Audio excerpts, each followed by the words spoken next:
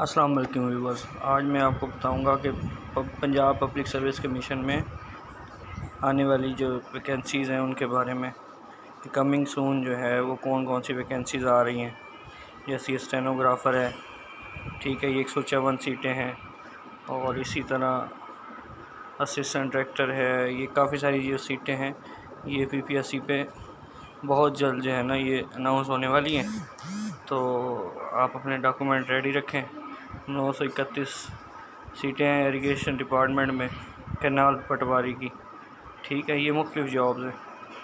ठीक है, ये छियासी सीटें पुलिस में आई हुई हैं, इंस्पेक्टर की वेब मास्टर की भी सीट है।